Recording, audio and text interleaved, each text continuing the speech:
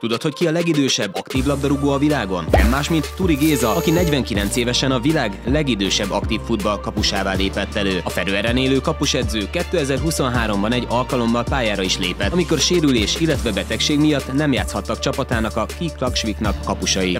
De még ennyi idősen élvonalbeli bajnokságban?